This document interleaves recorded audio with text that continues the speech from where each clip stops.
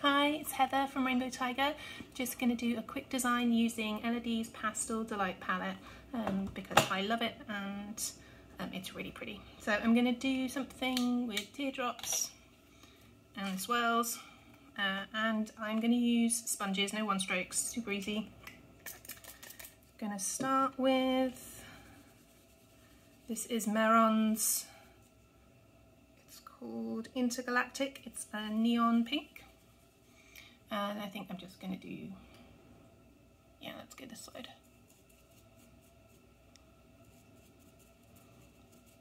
Um,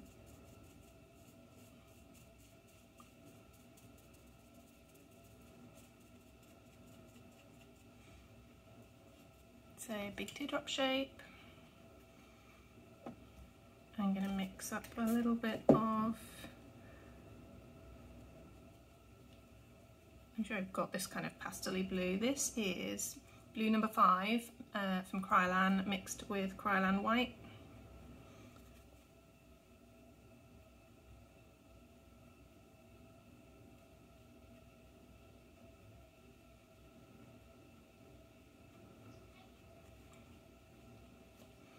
Okay, now these are glycerin paints so you can blend them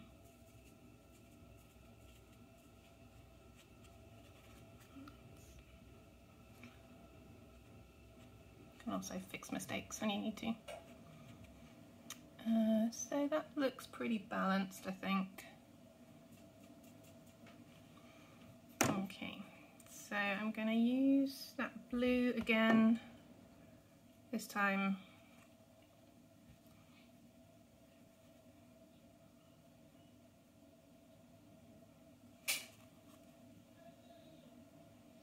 outer corner of the eye. You don't want to use dark blue under here, the same reason you don't want to use dark pink under the eye because it's going to make it look um,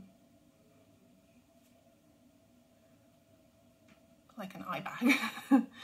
uh, and I'm trying to decide whether to do dark pink. I think I'm going to get a magenta pink. Uh,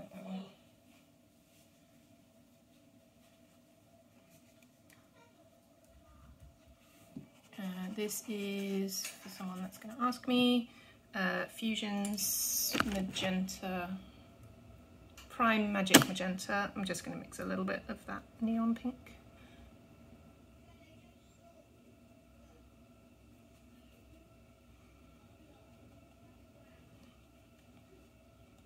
I've got it under there, I need to fix that. Um, so I've gone here, I'm going to put a little bit up here just to give a little bit of um, contrast with the pastel colours. Um, do you know whether I've got any bling out and about?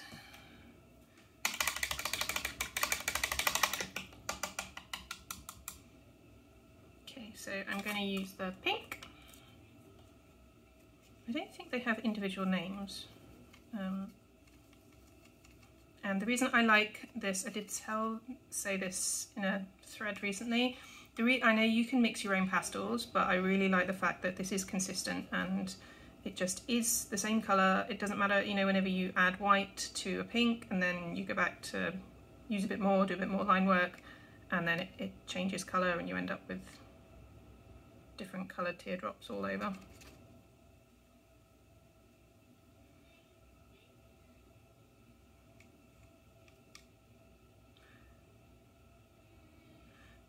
So this is number three round King Art 79, the old, basically the old Loew-Cornell brushes, uh, 7950. Uh, what are we going to do? Don't really have a plan for this, so I think I'm going to go under the eye,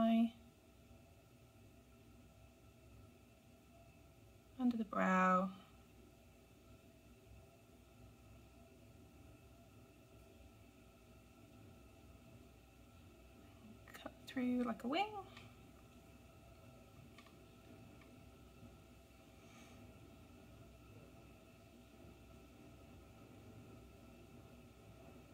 One.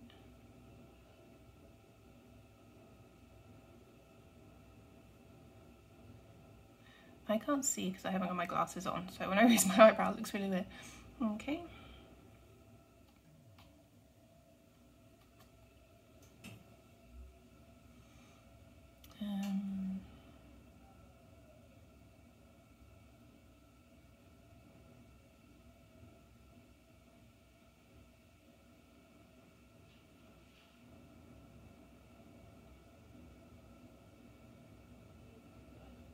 Start with, so my focal point is here, so I want my line work to sort of radiate from there really. And touch down about there, let's do a swirl. Brush is a bit dry because I'm dithering.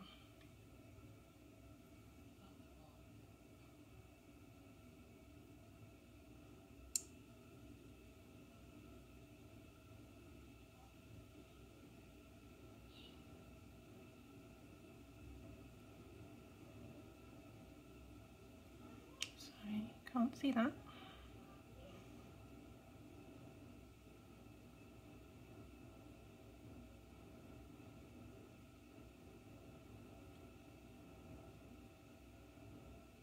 I assure you, this is a lot faster on the job because you're not trying to do it on a um,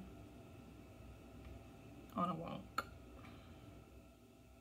So because I'm already got pink activated, I'm going to just put the dots, I think, in one, two, three. It's a bit wonky, but never mind. You get the gist. It's supposed to be quick. Don't be afraid, like if you really want to, to go back and fix the shape of something. So that's that side. So you can see, you get a nice contrast with um, the kind of bright colours underneath. Now I'm going to use the blue.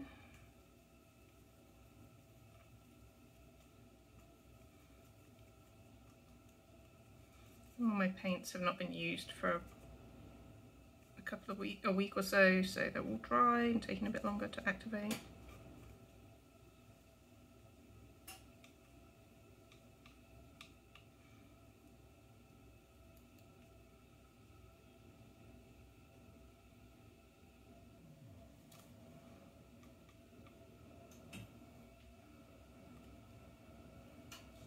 Okay, so we're going to join Right, we basically, whatever we've done on this side, we want to kind of mirror on that side.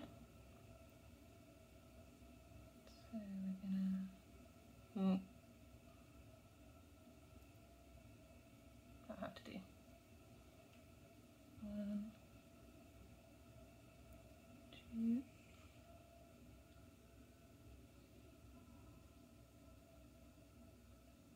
what do we have there? One, two, three.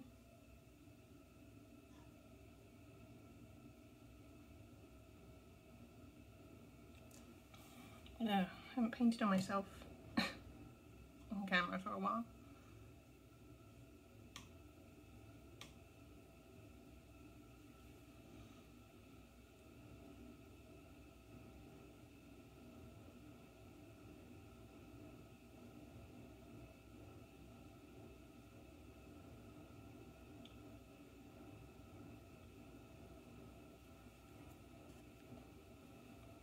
Okay.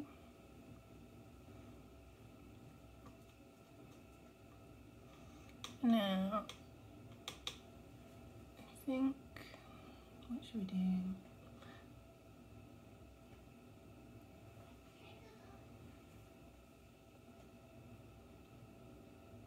So I'm going to join that up there.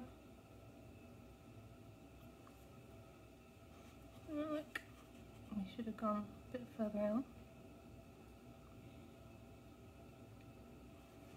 take a bit more of that colour out there so it doesn't look completely lopsided, unless you want it to.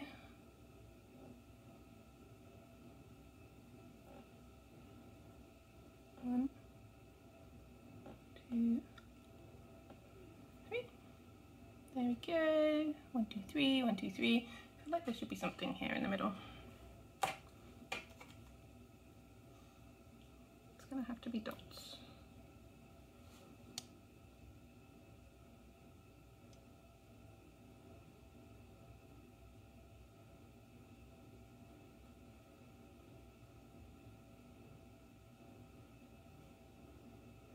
Hmm.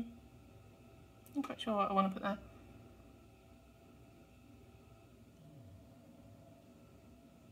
There we go, fill it. okay, so that is like the basic kind of mask shape that I might do on the job. And I'm gonna put just for funsies one, two, three. Gonna put a different dot on that side, go back. And whatever you do on one side, it's nice to do on the other.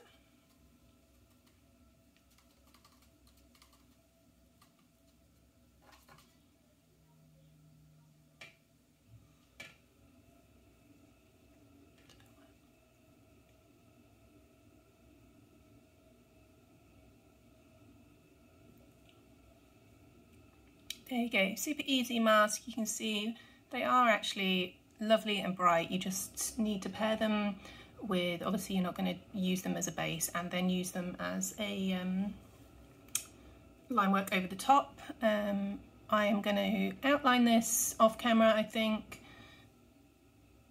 My eyebrow down.